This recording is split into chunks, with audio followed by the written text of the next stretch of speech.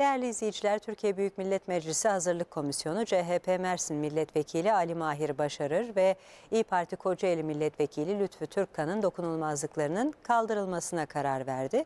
Biz de şimdi kameralarımızı Ankara'ya çevireceğiz ve sözü ayrıntılar için A Haber ekibinden Tülay Ağaoğlu'na bırakacağız. Tülay. Panel e, Hazırlık Komisyonu Lütfü Türkkan ve Ali Mahir Başarır için son toplantısını gerçekleştirdi ve e, toplantıda her iki milletvekilinin de dokunulmazlığının kaldırılması yönünde karar aldıkları açıklandı. Komisyon Başkanı Ali Özkaya açıklamalarda bulundu. Lütfü Türkkan'ın şehit yakınına küfrettiğini ifade etti. Velev ki de, de sıradan bir vatandaş olsun milletvekilliğine yakışmayan bir tavır sergilediğini ve bunu tespit ettiklerini ifade etti e, Ali Özkaya e, ve dokunulmazlığının kaldırılmasına karar verdiklerini söyledi. Bunun yanı sıra Mersin Milletvekili, CHP Mersin Milletvekili Ali Mahir Başarır'la ilgili de aynı yönde karar verdi.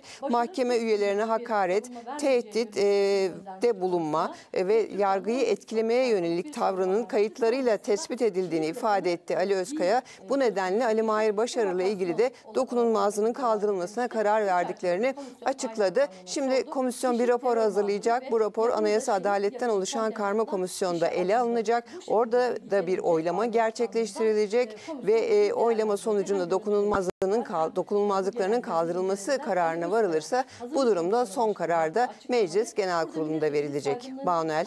Tülay çok teşekkür ediyoruz paylaşmış olduğun bilgiler için.